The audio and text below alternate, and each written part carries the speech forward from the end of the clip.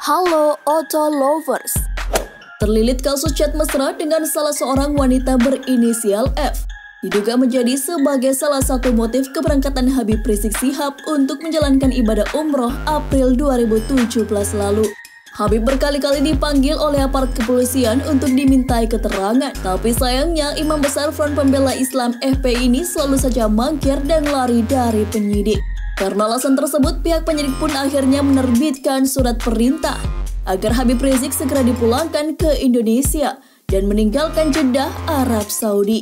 Habib resmi menetap di Arab Saudi selama 3,5 tahun lamanya sebelum akhirnya dideportasi November lalu. Selama periode tersebut, Habib mendapatkan banyak bantuan dari sahabatnya yang kaya raya, hingga akhirnya ia bisa menyewa sebuah apartemen dan membiayai kebutuhannya. Selama itu pula, Habib ternyata tetap berkoneksi dengan beberapa tokoh di Indonesia saat mereka menjalankan ibadah haji atau umroh di Mekah. Siapa saja orang-orang tersebut? Benarkah ada rencana terselubung yang mereka siapkan atau kunjungan tersebut hanyalah sebatas silaturahmi? Yuk kita simak aja informasi selengkapnya.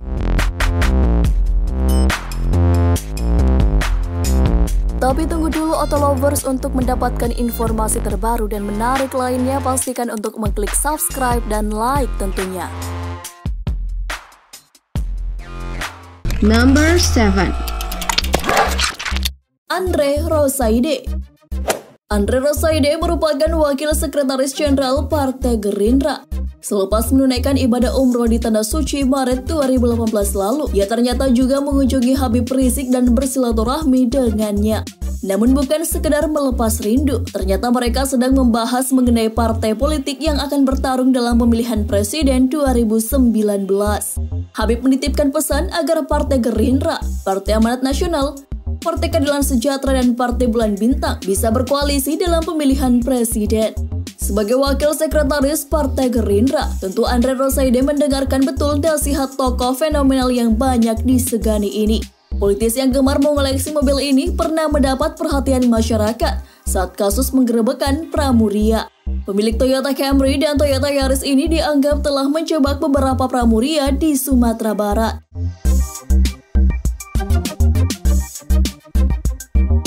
Number 6 Sudirman Said. Masa-masa pilkada memang telah merenggut banyak energi bagi tiap kandidatnya. Selain dukungan moral, para kandidat juga perlu menenangkan diri sejenak sebelum hari pemilihan tiba. Calon Gubernur Jawa Tengah Sudirman Said kala itu pun juga bertolak ke Mekah untuk berdoa dan mendekatkan diri pada Allah Subhanahu wa taala. Dalam proses ibadahnya tersebut, ternyata ia juga menemui Habib Rizik pada kesempatan itu, Habib pun juga mendoakan Sudirman agar bisa memenangkan pemilihan gubernur Jawa Tengah tersebut.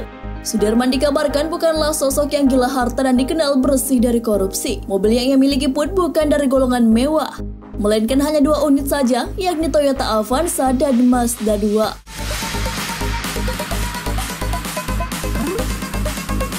Number 5 Abraham Lunggana Wakil Ketua DPRD DKI Abraham Lunggana alias Haji Lulung juga tak ketinggalan. Politisi yang juga aktif sebagai pebisnis ini ternyata memang telah memberikan support yang kuat kepada Habib Rizik. Di sisi lain, Habib pun juga selalu memberikan bantuan kepadanya. Bahkan politisi P3 ini pernah mendapatkan amanah dan pesan dari Habib Rizik untuk berani membuat terobosan dan dapat mencari partai lain yang dapat memperjuangkan aspirasi umat Islam. Haji Lulung dikenal sebagai pengusaha yang kaya raya.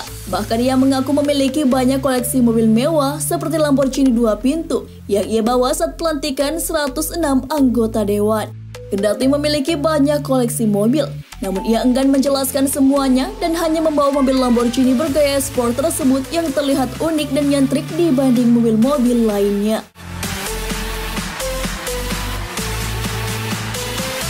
Number 4 Erwin Muslimin Singajuru Erwin Muslimin Singajuru ternyata juga tak melewatkan kesempatan untuk bertegur sapa dengan Habib Rizik.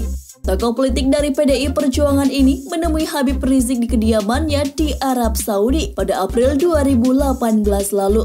Kunjungan ini ternyata bukan kunjungan dadakan loh lovers. Bahkan menurut pengakuan Erwin sendiri, ia telah merancang pertemuan ini jauh-jauh sebelum keberangkatannya ke Arab Saudi. Akhirnya rencana tersebut bisa terrealisasi setelah menyelesaikan ibadah umroh.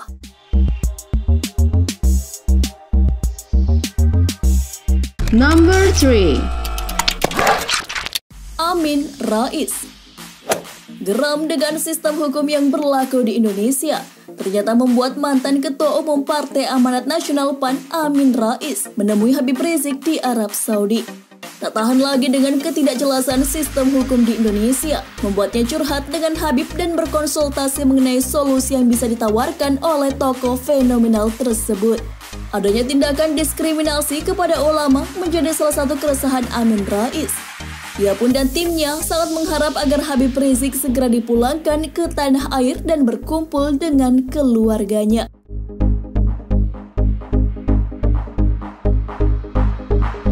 Number 2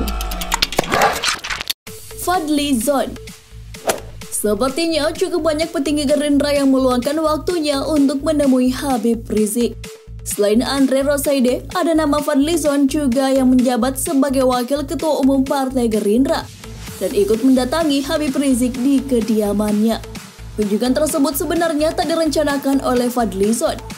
Namun saat itu ia menyempatkan untuk berkunjung di sela-sela kesibukannya sebagai ketua tim pengawas haji Indonesia dari DPR kala itu.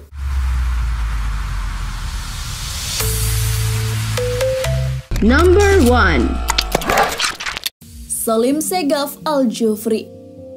Lengkap sudah partai pendukung yang selalu mendukung Habib Rizik.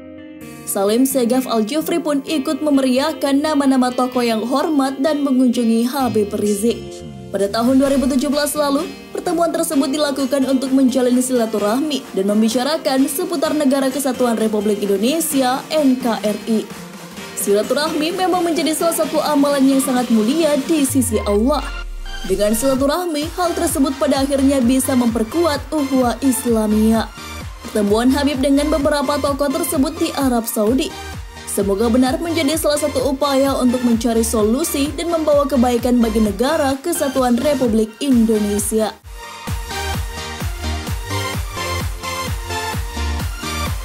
Terima kasih sudah menonton. Jangan lupa klik tombol subscribe di bawah video ini guys. Like and share video ini ke teman-teman otomaniak Anda. Dan satu lagi guys, gak ada ruginya untuk mengaktifkan lonceng notifikasi kalian agar bisa mendapatkan video terbaru dari kami.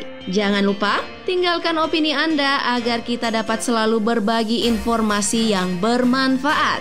Oke, okay? see you on next video.